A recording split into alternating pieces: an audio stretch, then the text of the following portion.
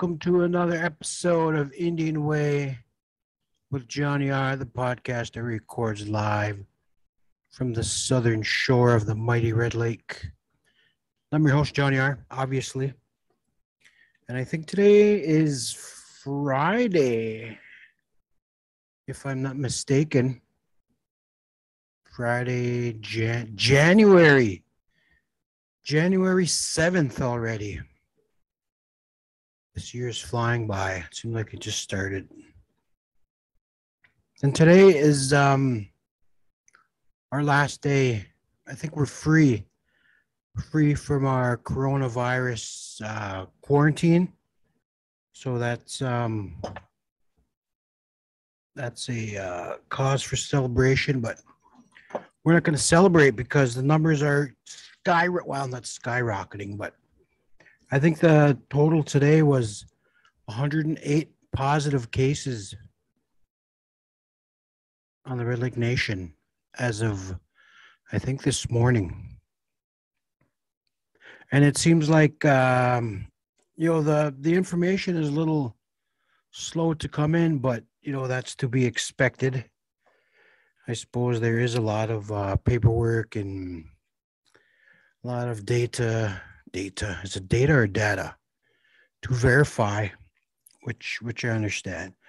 I'm probably a little hard on um, you know the the tribal leaders, but uh, you know it's part of their job to hear hear um, random citizens like myself bitch about them. So, but you know if they take it the wrong way, I, I do apologize and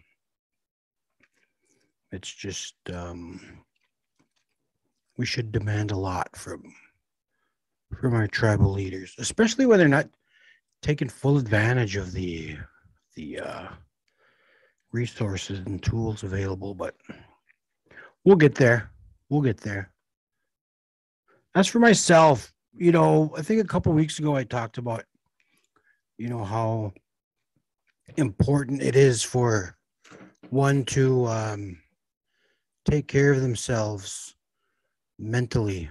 And I've been in kind of a rut the last, I don't know, month or so. And I just, I just can't shake the feeling like, I don't know.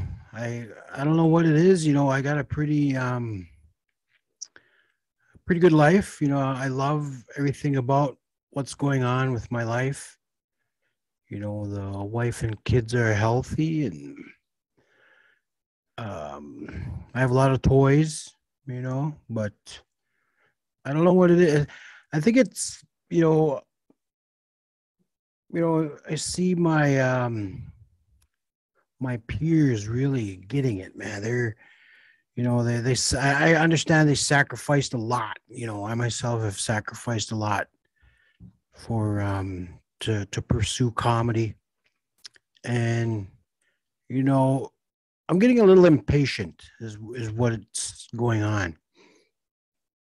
I know there, my peers have uh, probably sacrificed a lot more than I have. You know, you know, um, they took a leap of faith to to to pursue this dream, and you know, I, I realize that I, I'm I've never really been fully committed to it full time because I don't know. You know, maybe um, it's just something that uh, I could uh, look more into. But you know, I'm happy for it. Happy for them all, man. They're I, I've seen them uh, bust their ass to get where they are, and you know, I I appreciate their dedication and uh, I admire it, and I'm just just happy that um, that that our people are making noise. You know, making noise in the mainstream and getting our voices heard, the indigenous voice heard. So, hats off to them. You know, hopefully, um, the rest of us are right behind you. So maybe that's uh, that's probably one of the the main things that are bothering me, you know. You know, I, I should feel okay because I, I did book a um book a a gig, you know, a monthly gig for the next uh, five months. So that's that's one thing I, I, I can build on, and you know there there are other opportunities out there that I should pursue, and um, that's the thing about about this. You know, I I've always considered myself um, trying to be self aware, and I don't want to be uh, a pest, but you know, but that's not the right way of saying it. But you know, persistent. I haven't been as persistent as uh, as my peers, and that's probably held me back. Or I just don't have it, and that's an that's another uh, harsh realization that sometimes you know crosses my mind you know like what if i don't what if i've i've just been you know lying to myself these last uh 12 years. This is my 13th no. Shit man this is my 13th year in comedy so. I've been doing comedy as long as stephen curry's been in the nba so and he's uh, obviously a lot more pop more uh popular and accomplished than uh, anyway. But check me out trying to compare myself to Steph Curry. But you know, like I said, I am trying to uh trying to write more and but today I, you know that that funk i mean i just haven't been able to get past you know feeling like uh i don't know man it's just it's hard to, to to admit that I'm not mentally where I should be. Maybe it's the weather, maybe it's the pandemic, maybe it's uh maybe it's just me being me, you know. The the harsh harsh realization.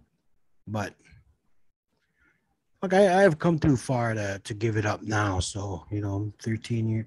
Well shit, I'm actually what 15 years in all this media I started in 2006, so I'm fifth in my 16th year of uh, making making content. So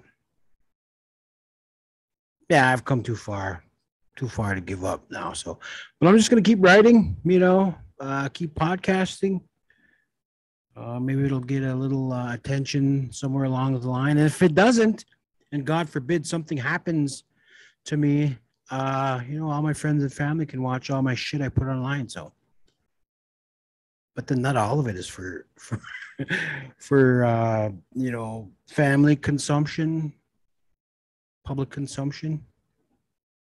I know on, on Twitter I go off like a motherfucker on Twitter, man. I just I forget who's all following me because you know the Facebook crowd and the Twitter crowd are two different animals and I just unleash on Twitter because I know the Twitter people can take it, and the Facebook people have a little uh, hard, difficult time. Um, you know, everything bothers everybody on Facebook, so I don't want to put anything up. You know, I don't want to be known as the a hole. Fucking, I am the a hole, so Maybe I am. Maybe that's what I full on heel. I think I said that before. Turned full on heel, but you know.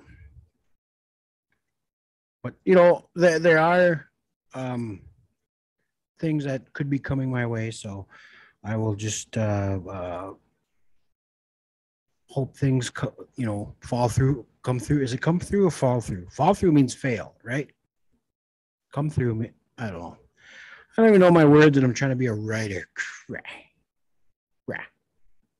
For years, I've been trying to write.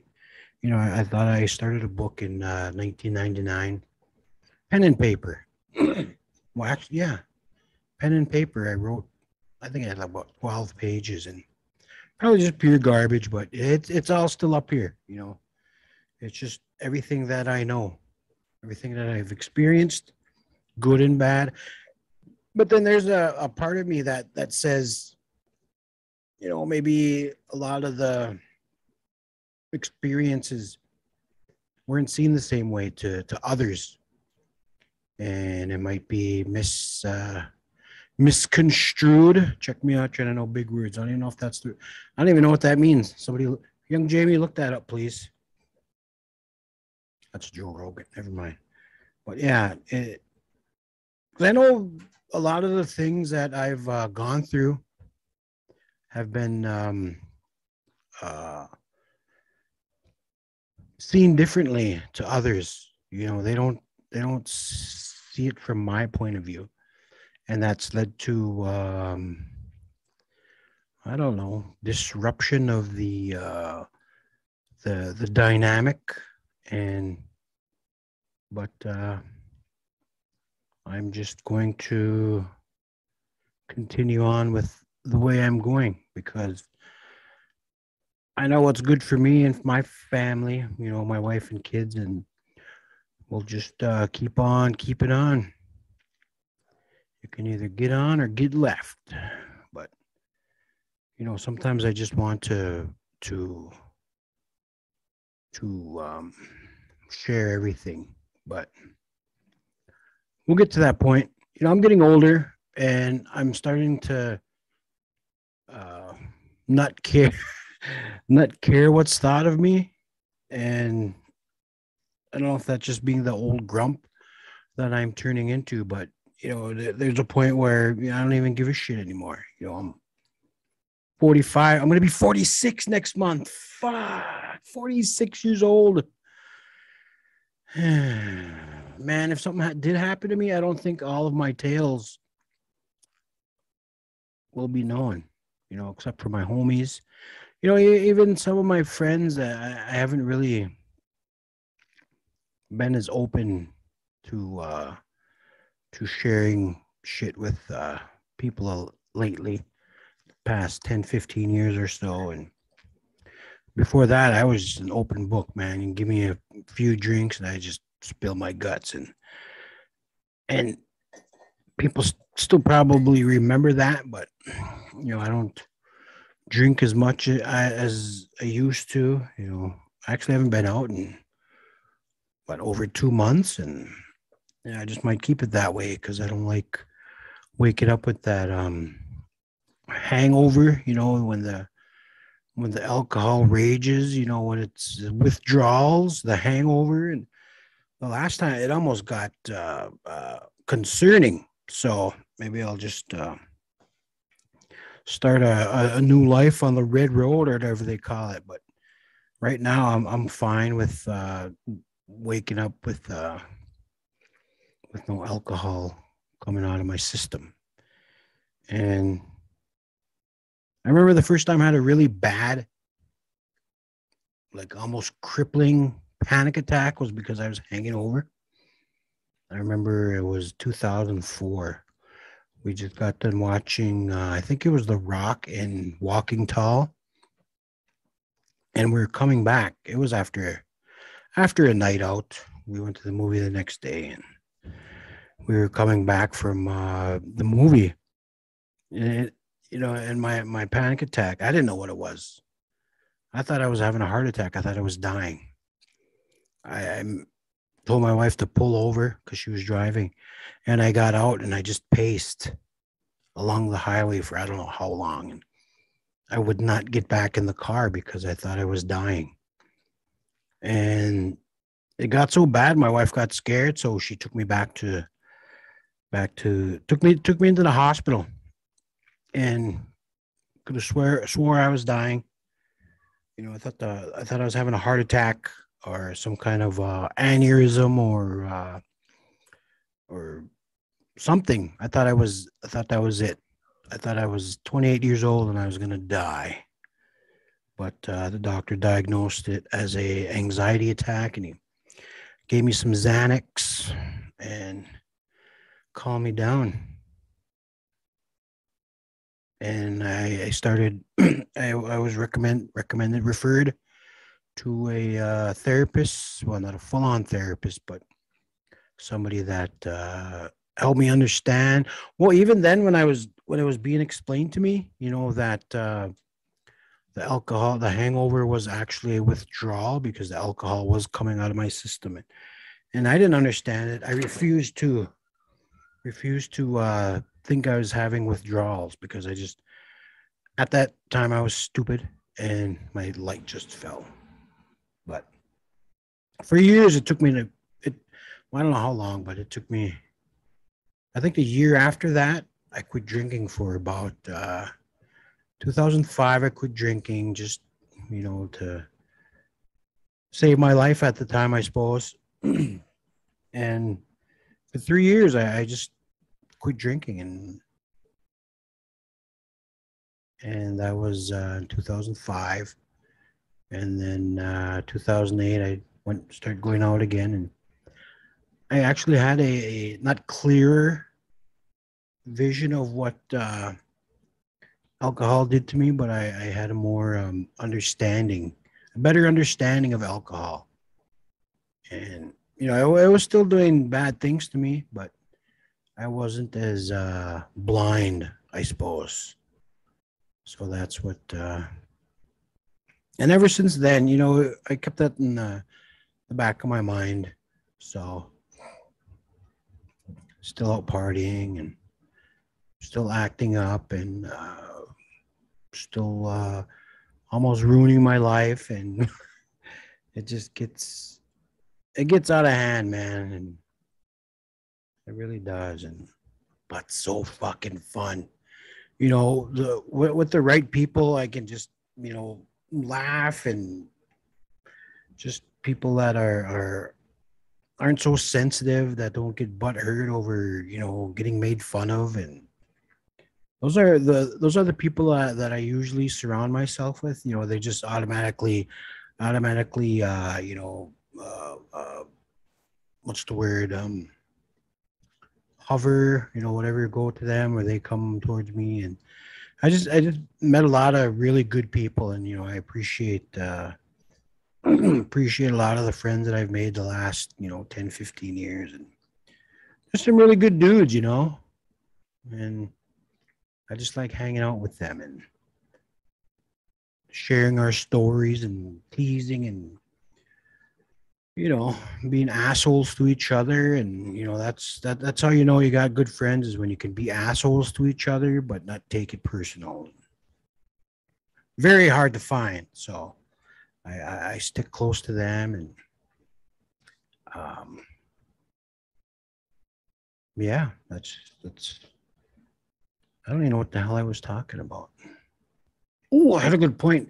There was a point coming to me, and then I, I fumbled it. I lost it something about uh, the way I see things, and I don't know.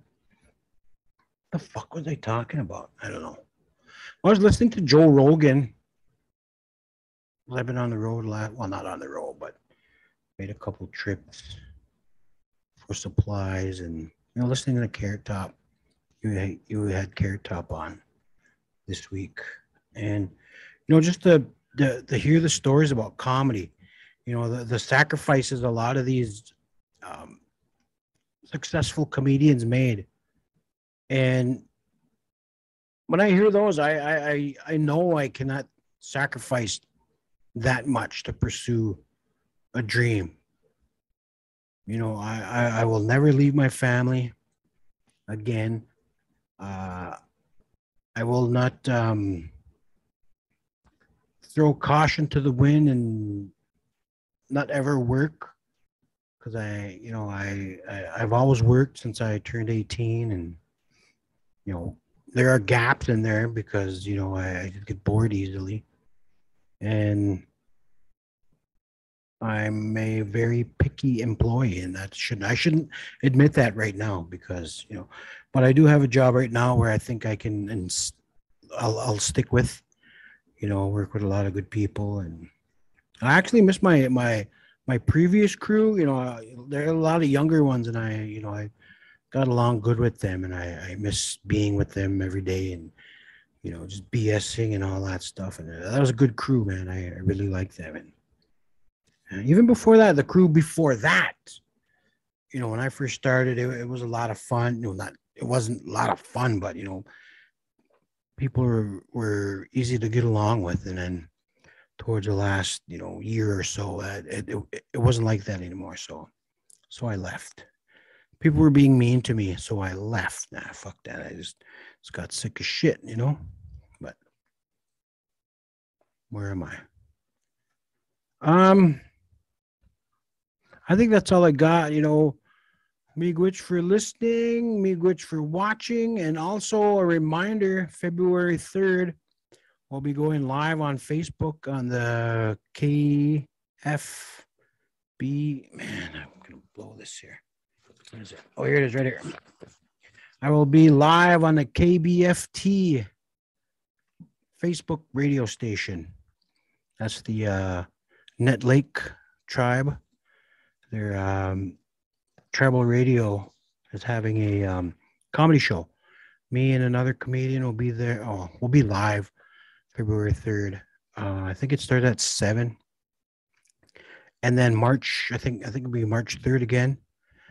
Um, I think uh, yeah, we're gonna put together some show live comedy, sh- not live. Well, yeah, they will be live, but they will be virtual. So the first one is February 3rd. I'll be hosting that, and then another one March, April, May, and June.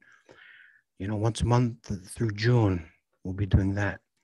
So hopefully, uh, you know, that's uh, get, getting back at it. Um, trying to stay busy, trying to stay creative. You know, keep the creativity uh, juices flowing, and you know, I'm still gonna try and finish my uh, my script for my pilot. it's so ridiculous. It's so ridiculous. It's fun you know, it's just pretty much you know write what you know, and that's what I'm gonna do. So it's it's kind of like a fort, uh, fortune, not a fortune teller, but uh, a look into the future where where I think I could be going. So, but yeah, that'll be uh, hopefully I finish that within. I'm gonna finish it by the end of January. So and then I'll. So hopefully, uh, if other things pan out, I can use that and just. But yeah, but that's where we're at. And I, I don't. I would also like to congratulate um, the homie, you know, from the 1491s, from Reservation Dogs, and um, Barkskins, and uh, so many other things. Uh, Rutherford Falls, you know, Migizi, Pensoneau. I he was named Indian Way Podcast Red Laker of the Year. So congratulations to Migizi because I think he's probably the most um, one of the the most successful Red Lakers out there right now. And you know there was a couple more that were right behind him, but you know I think Reservation Dogs and uh, Rutherford Falls put him over the top. And then season two of Reservation Dogs and uh, I'm not sure if he's in. He'd probably be on uh, season two of Rutherford Falls too. So Migizi Pensoneau is our Red Laker of the Year, 2021 Red Laker of the Year. First time I've ever given it. I've been trying to do this the last few years, but nobody's really stood out. You know, you know, we're all just I don't know if we're just too humble or or what, but yeah, Migizi Pensoneau, Red Laker of the Year. Our first ever Red Laker of the Year on Indian Way Podcast. But uh, that's all I got. Miigwech for listening. Miigwech for watching. And um, yeah, we'll be back uh, whenever I get bored, whenever I get time. Miigwech.